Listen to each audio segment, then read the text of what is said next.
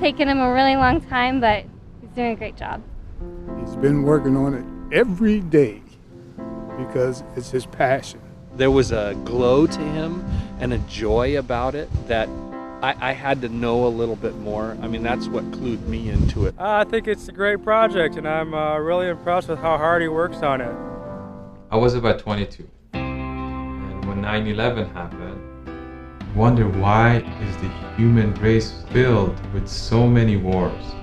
What are the causes of all this war and mass destruction? I actually said, why don't I reverse the question and ask myself, how can we finally find a solution to achieve everlasting peace? Uh-huh. I saw this would be a great opportunity to make a painting that was screaming to say no, the way to achieve real peace is must be through unity. It must be through unconditional love. It must be through self-knowledge.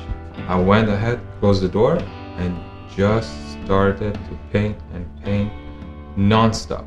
This project is probably one of the greatest works that I've ever seen. My goal was filling the house. So I started filling all the ceilings. I just started upstairs.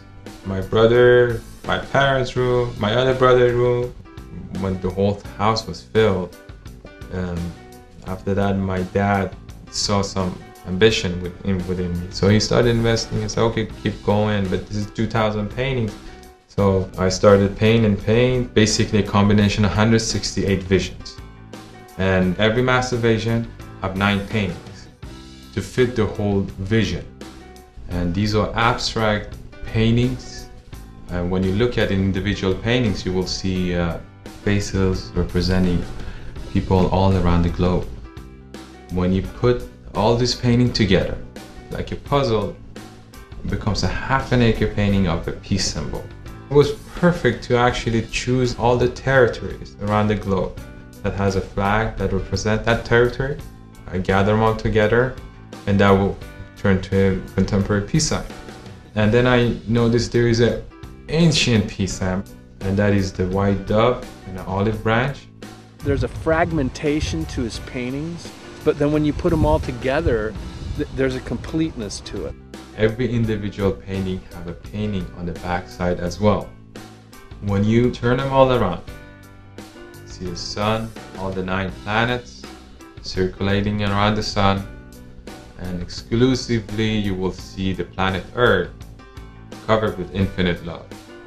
The front side is called Vision of Unity. The back side is called Vision of Peace.